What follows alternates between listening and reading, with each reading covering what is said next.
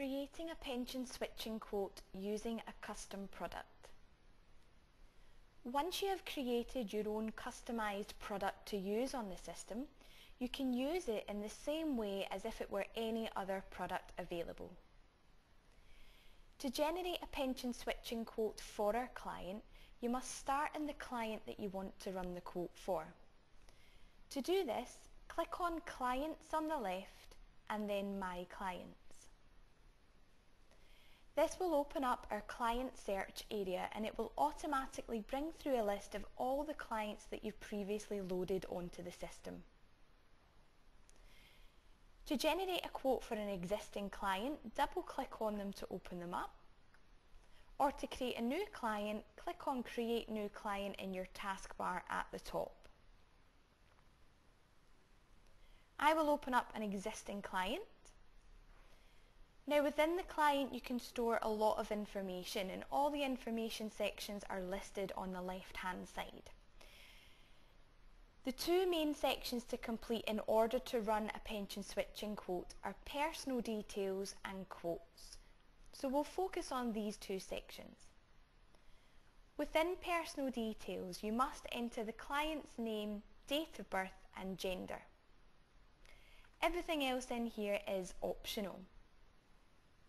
Once you've completed the name, date of birth and gender, click on the quote section and it will take you to the quote area.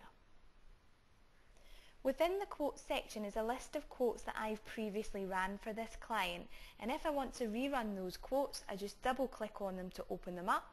I can then edit them, manage them, rerun them and if you want to create a new quote click on create new quote in the top right hand corner of this section. You can then select the type of quote you would like to run for this client. And when you create that quote, it will automatically store it within this area. I will open up an existing quote. Now within the pension switching quote, you work your way from top to bottom, completing all of the relevant sections here. The first section is quote details.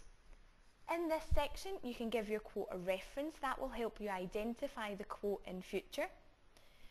You can then set the status of the quote to current, previous or proposed. On the right hand side is a comments box. This is a free text box. Type in here whatever you want. It will not appear in any of your switching results or reports. It just allows you to put any notes or comments about this particular quote in here. So this quote details section, any information you put in here will not have any impact on your quote results. It's just purely for you to manage your quote. We then head into the current plans and portfolios section and this is where you're going to tell us all about the client's existing plans. And when you first come in here, this area will be blank, it will be empty. So to tell us about the client's existing plan, you've got a couple of options. In the top right hand corner you've got select plan and create plan. Select plan then, if you've already created the client's current plan in the client area, we wouldn't expect you to create it again. All you need to do is click on select plan. You can then select all of the client's portfolios or you can go through and select each individual one that you're considering switching out of.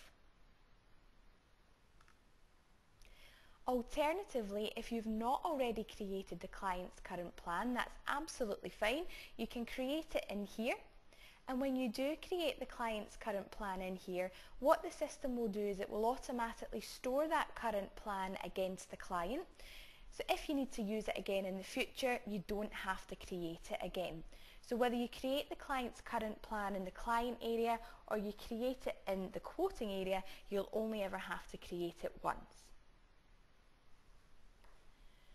But once you have a list of the client's current plans here that you're considering switching out of, double click on the plan and it will spin around. This is where you then tell us all about the existing plan projection details. So the first thing we need to know is the current plan name. Type in there exactly how you want it to appear on the report. So make sure there's no spelling mistakes, for example, on there. And on the right hand side, select the provider of that current plan using your drop down box. Underneath that, it asks us about current plan maturity values and the first thing we need to know is the retirement age. What's the retirement age that you have on your existing plan projection so that we can match with that like for like. So type the retirement age in here. We then need to know the projected maturity basis. So what basis has the existing provider used to project forward to maturity? And you select the basis from this drop down list here. So you've got a few to choose from and I'll go through each one in turn. The one that's highlighted is inflation adjusted rates supplied. So since April 2014, the FCA has stated that providers must produce pension projections using inflation adjusted growth rates. That's where you take growth rates, you reduce them for inflation, which is at present 2.5%. In order to check if you've been given an inflation adjusted growth rate quote, it will mention inflation adjustment on the illustration and normally the low growth rate will be a negative growth rate. The industry standard growth rate at the minute for the low growth rate is 2% and if you reduce that taking account of inflation of around 2.5% that will produce a negative growth rate so you can look out for those two key factors. The other options that we have on here, you've got monetary rate supply. So prior to April 2014, this was the, the norm. This was the way most providers were producing their projection figures. And this is where there was no account for inflation whatsoever. So just normal growth rates, projecting forward to give you final maturity values with no deduction for inflation. That option is still on there at present to honour any pre previous quotes you have that were produced prior to April 2014. You then have SMPI rate supplied. Now SMPI stands for Statutory Money Purchase Illustration and this was the old method of building inflation into our comparisons. So this is where providers would project forward using normal growth rates, so no account for inflation on the growth rates, they then have final maturity values and they then reduce those maturity values taking account of inflation. So this is one way of adding inflation adjustment on there. So some providers may adopt this approach as opposed to the inflation adjusted rates approach. The final option on here is estimated by the system and that big bit of red text that's just appeared basically says don't do it. It's not a compliant method of projecting but what it's there for is if you have a provider that's not giving you a projection to maturity, can be quite difficult for you to then make a comparison. So what to do is enter an annual management charge in here and we'll then give you an estimate of what that maturity might be. Now it's not compliant so please do not use it with your clients. It might just be though that peace of mind exercise for you to carry out to check the figures stack up before you sort of delve any further into the comparison. I will leave it on inflation adjusted rate supply because this is what you're likely to see more often than not. And once we know the basis that the provider has used, we then need to know the growth rates that they've used. So using the next drop down, the first option on here is industry standard growth rates. Now at present, industry standard growth rates are 2, 5 and 8%. And taking account for inflation, they come out at minus 0.49, 2.44 and 5.37%. So if these are the growth rates that you've been quoted, select industry standard and then just input your corresponding maturity values into the relevant row. If you've not been given industry standard growth rates, so any growth rates other than these figures here, Click on Fund Specific Growth Rates and that will allow you to type in the growth rates you've been given by that existing provider. Pop in your corresponding maturity values and we'll then use the exact same growth rates to compare with all the other pension products on the system, including your custom product. If the existing provider has produced an illustration where they use individual growth rates for each of the individual funds, and don't give you an overall weighted growth rate, we can help you with that using this calculator button here. So if you click on calculator, it will open up just a miniature spreadsheet. You can then select the number of funds the client is currently in. That will put that subsequent number of rows into the spreadsheet and you just type the details in. So fund name, percentage invested and the low, mid and high rates that you've been quoted. And down the bottom here, we will then calculate the overall weighted growth rate. And whatever that weighted growth rate comes out as, we pop it into the growth rate column here and we then use that growth rate for all other providers going forward. I'll pop it back on industry standard growth rates for now. Now down the bottom of this section it says click here to enter current plan funds. So this is where you enter the funds that the client is currently invested in. Now you don't have to do it, it's not mandatory, it will have no impact on the results, but what it will do is in the pension switching report it will plot a past performance chart showing the past performance of the client's existing portfolio of funds. So if that's what you want to do, use this search box to find the fund that you're looking for. And once you find the fund, type the percentage invested in that fund. On the left hand side you can input any continuing contributions here. If the client is paying into their existing plan that will have a huge impact on the maturity value so we want to know about that. Now when you type in a gross premium here two things happen. You get a paid up maturity value column on the right hand side so you can run paid up comparisons alongside your non-paid up. And underneath the gross premium you can then select the frequency of that contribution and if any escalation is currently being applied to that contribution. If there is any escalation, we will also ask the month that it escalates on. Now we know that more often than not it will be policy anniversary month, but the system doesn't know when that policy anniversary is. So just make sure you do select the correct month. I'll take that figure out for now and in the bottom left hand corner type in the current value, transfer value and the as at date of those values of the plan. Now the as at date is absolutely crucial. We will then apply the same as at date to all the new products, including your custom products, assuming the transfer took place on this date. That will then ensure the same number of months to retirement, which will in turn ensure the same amount of growth being applied, the same number of contributions, etc. So we've input all the details for this existing plan here. Once you're finished, click on the two little arrows in the top right hand corner and what that will do is it will spin us back around to where we started. So I can now update all the details for my next current plan and so on. Now we're looking at switching out of two existing plans here. So when we're looking at switching out of multiple plans, what the system will do is it will always attempt to produce a consolidated comparison where we add the existing plans together and assume they're going into one new plan. Now the only condition that needs to be met is that the existing plans must be projecting forward to the same retirement age. That will enable us to run a like-for-like -like comparison.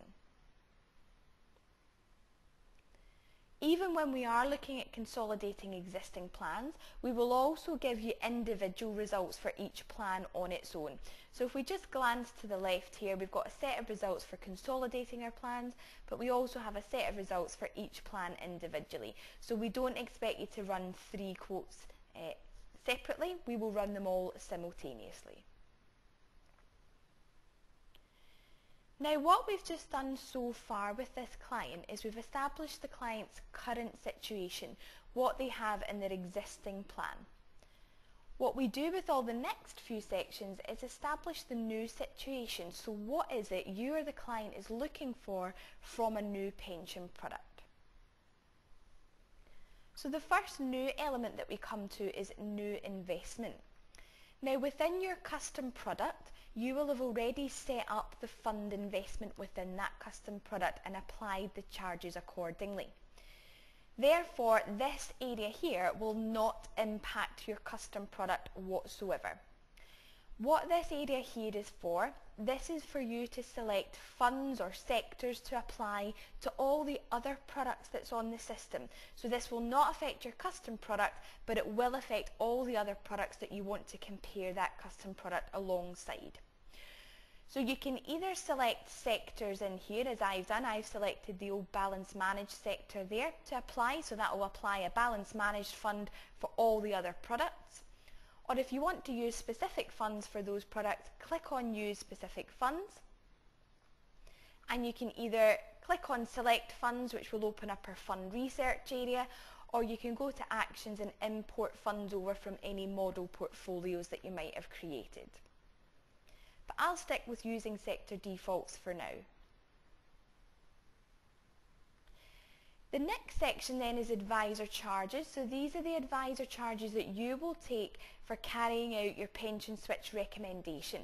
Now these advisor charges will be applied across all products including your custom product.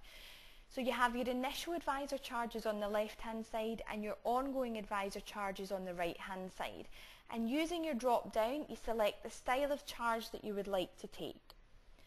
So the options on here are no initial charge whatsoever, or you've got an initial amount, which would be a monetary value, or an initial percentage, which would be a percentage value. And when you select amount or percentage, the system will ask you what amount or what percentage would you like to take. So type the details in that box.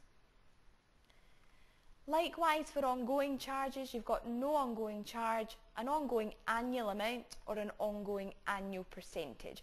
And when you select annual amount or annual percentage, it will also ask you how frequently you would like that paid out.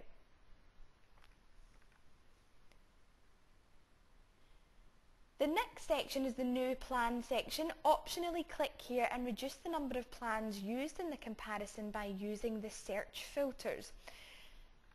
This area is optional because we always automatically select all of the products to use in the comparison across the board and that includes our custom product as well. You can see I have here an example custom product.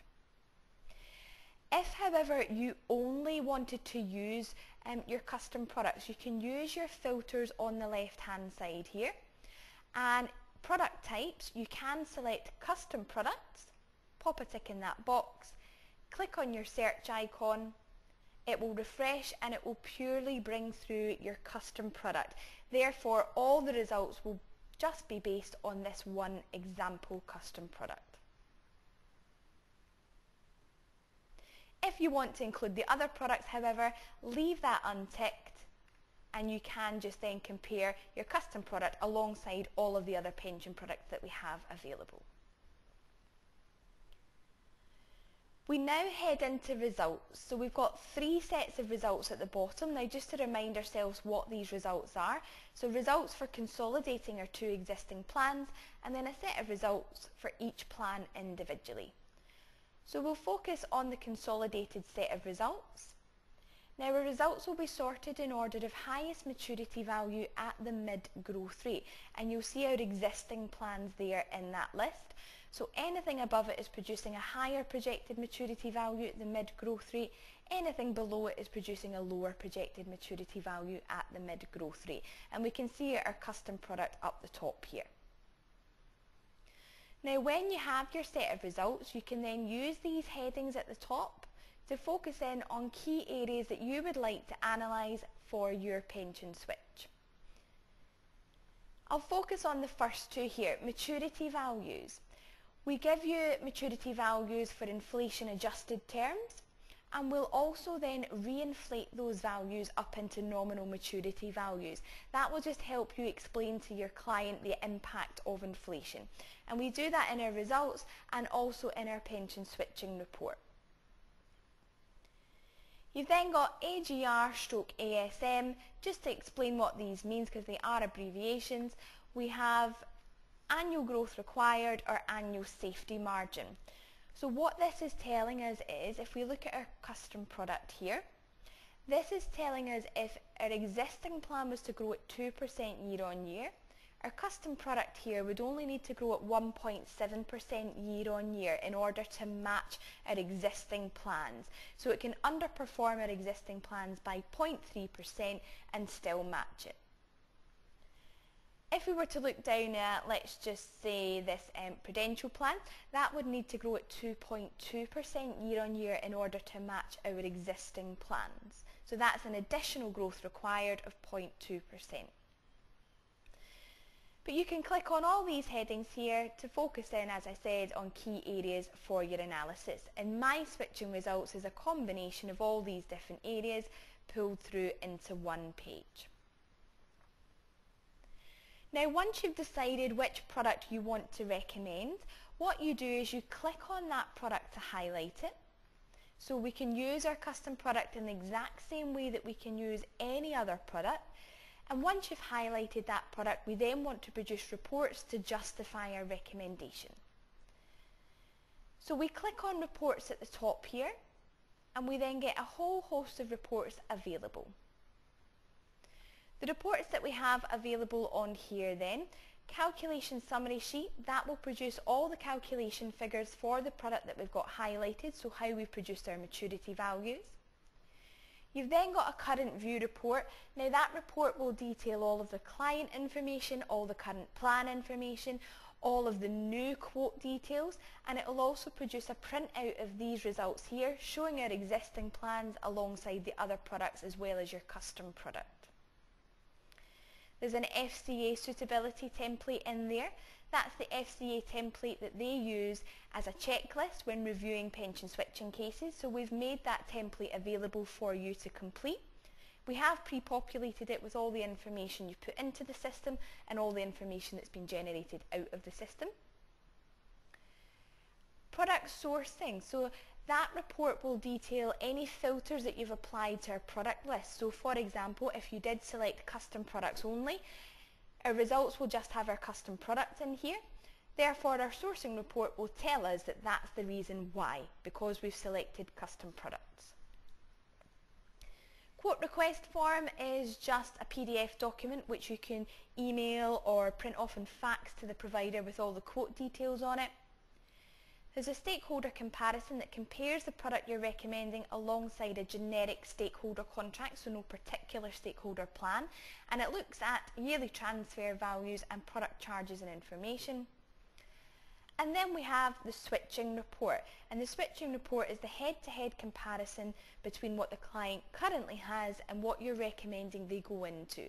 So it will look at all the information that we've highlighted in this table here. So it will look at your maturity values alongside each other, if there's any additional growth required or safety margin, etc. And it will put them head to head.